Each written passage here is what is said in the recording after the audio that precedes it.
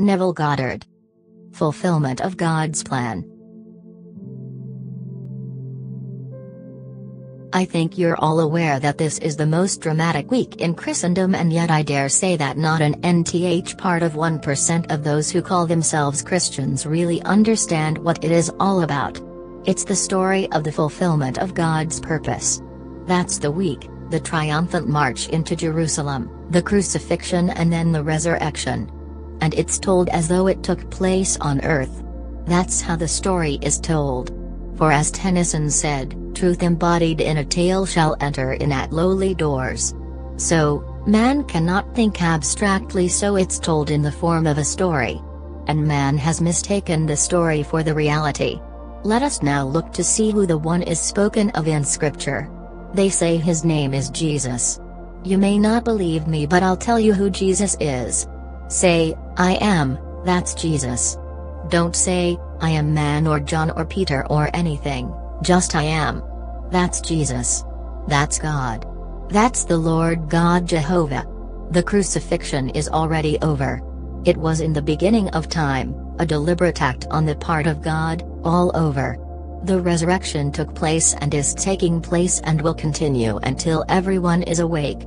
So, you say, I am, that's Jesus. Now, it begins with the march. Mark tells us that he took the twelve and then he walked ahead of them. The way Mark states it, it is as if he were one whom a dream had possessed and who went forward to fulfill all that the prophets had foretold. For he said, I have come to fulfill scripture. The only purpose. Now, not a man on the outside fulfilling scripture. This one, which is God, is buried in you when you say, I am. You may not be aware of it aside from dreaming the dream of life, which is this. He also is dreaming the fulfillment of his purpose.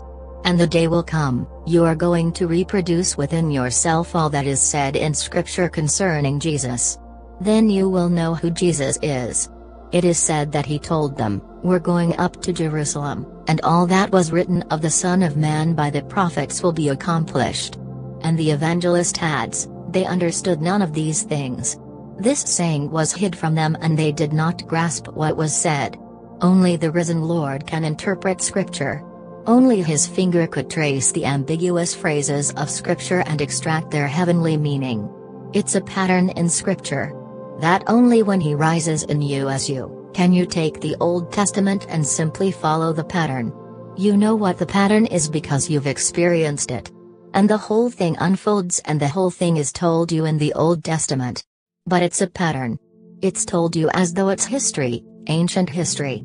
It's divine history and that history, not page after page, but a pattern goes through the entire thing and then that pattern unfolds within you. And when it unfolds within you, you actually gain that certainty that, I am He. There is no other way you'll ever know it until it unfolds within you. Now, God came and comes into human history. And now we're going to give him a name, in the person of Jesus, but the Jesus in you, in me, in every child born of woman. That's the only Jesus in eternity. I am that Jesus. Well, now he's a father. When God is born within you, for that's the beginning of it all, you first awaken within you and you do not know you are God. You only know that you have awakened from the most profound sleep ever and it seemed like eternity. You did not awake on the bed where you fell asleep the night before. You awoke in a tomb and the tomb is your skull. And you awake within your skull and you're all alone with no one present. But you have a built-in innate knowledge what to do. And you do it and you come out of your skull as a child comes out of the womb of woman.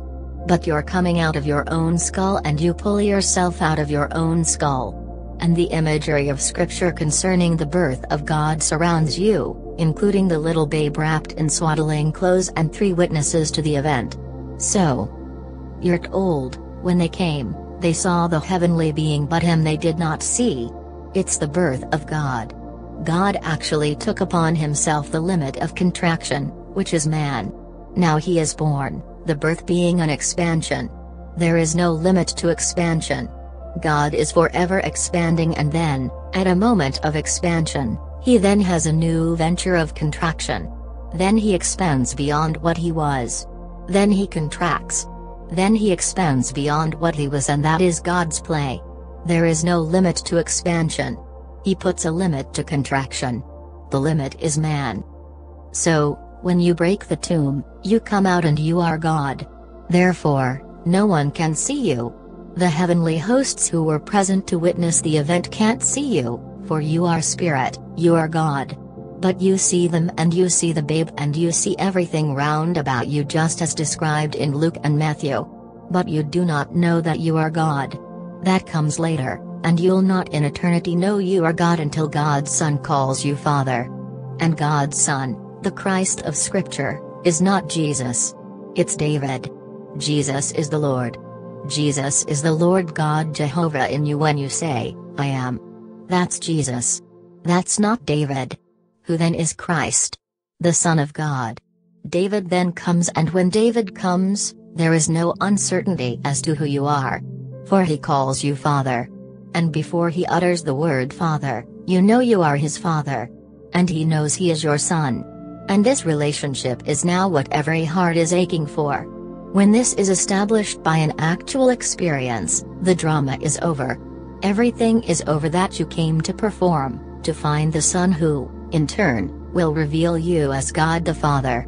For he is sound asleep in humanity and man doesn't know that he is God. And when he is born from above, he still doesn't know he is God. And not in eternity can he find out who he is until the Son appears. So, we are told in Scripture, no one knows who the Son is except the Father and no one knows who the Father is except the Son and anyone to whom he chooses to reveal him. So, Hey do it because they know neither my father nor me. Had they known my father, they would have known me also. But they know neither my father nor me. So, you find, you've got to actually feel between the words. For he's speaking one moment as father and then speaking, in another moment as son. It's a mystery and how are you going to tell it unless you tell it in the form of a story that it may enter in at lowly doors. But man, hearing the story, learns to feel behind the story and feel what it's trying to convey. But when you actually experience the story, then you know the mystery.